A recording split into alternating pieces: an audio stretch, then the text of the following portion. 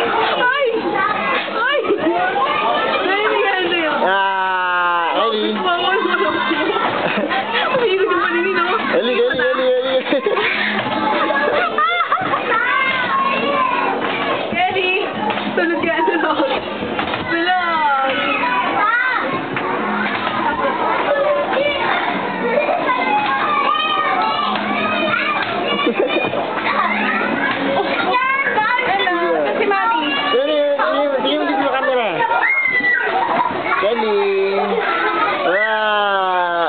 not.